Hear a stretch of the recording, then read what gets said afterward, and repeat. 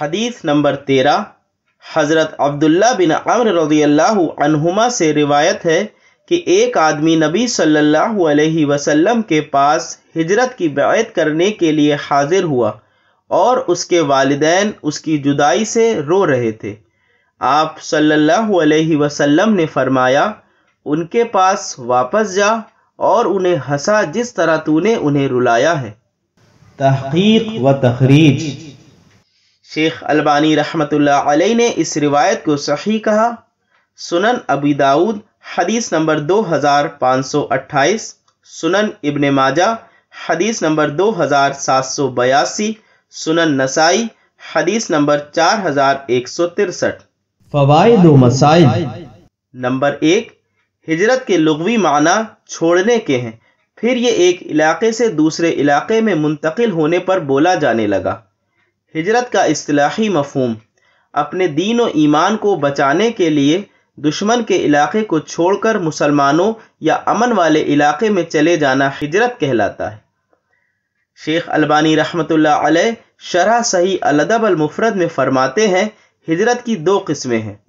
ایک ہجرت وہ ہے جس پر اللہ تعالی نے جنت کا وعدہ کیا ہے اور یہ اولین صحابہ کرام رضی اللہ عنہم کی ہجرت ہے کہ انہوں نے اپنے اہل و عیال اور گھر بار چھوڑ دیے اور پھر واپس نہیں گئے۔ دوسرے وہ عراب جو ہجرت کر کے مسلمانوں کے ساتھ مل کر جہاد کرتے رہے، لیکن جس طرح السابقون اولون نے کیا، انہوں نے ایسا نہیں کیا۔ یہ بھی اگرچہ ہجرت ہے، لیکن پہلے کے درجے میں داخل نہیں ہے۔ نمبر دو، ہجرت بہت بڑا عمل ہے۔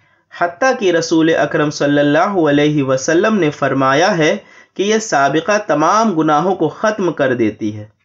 لیکن والدین کے ساتھ حسن سلوک اور انہیں خوش کرنا اس سے بھی بڑا عمل ہے۔ نمبر تین، اس حدیث سے معلوم ہوتا ہے کہ امام یا امیر کو مجاہد کے گھریلو حالات کا جائزہ ضرور لینا چاہیے۔ اور کسی ایسے فرد کو جہاد وغیرہ کے لیے نہیں بھیجنا چاہیے جس کے والدین ناراض یا ناخوش ہوں، بلکہ کارکن کو والدین کے ساتھ اچھا سلوک کرنے اور انہیں خوش کرنے کی ترغیب دلانی چاہیے۔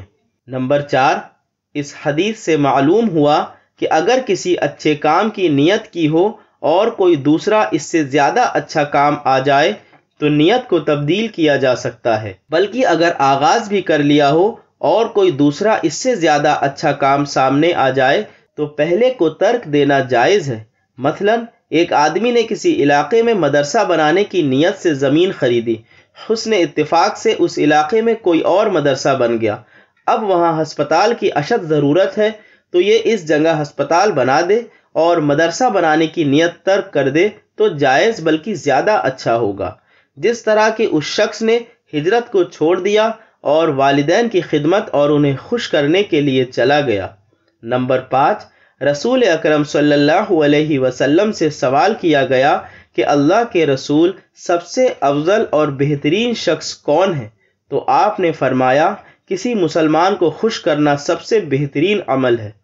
ترغیب و ترہیب لل اسبہانی ایک بٹا چار سو پچہتر۔ جب عام لوگوں کو خوش کرنا اتنا بڑا عمل ہے تو والدین کو خوش کرنا کتنا بڑا عمل ہوگا۔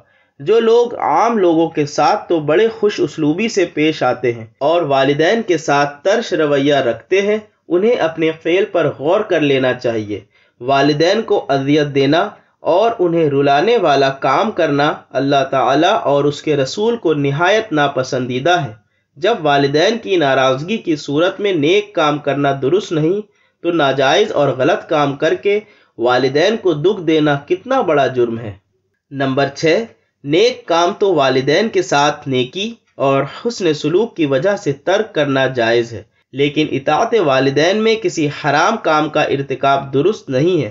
اگر والدین کسی ایسے کام کی کرنے کا حکم کریں اور نہ کرنے پر روئیں اور ناراض ہوں، جو شرعن ناجائز اور درست نہیں، تو پھر والدین کی اطاعت ضروری نہیں، بلکہ اطاعت نہ کرنا فرض ہے۔ مثلا والدین اولاد کو بینک یا کسی سودی کمپنی میں ملازمت کرنے کا کہیں یا سودی کاروبار کرنے کا حکم دیں یا کسی کو مارنے اور اس پر ظلم کرنے کا حکم کریں تو اس صورت میں ان کی اطاعت نہ کرنا ضروری ہے۔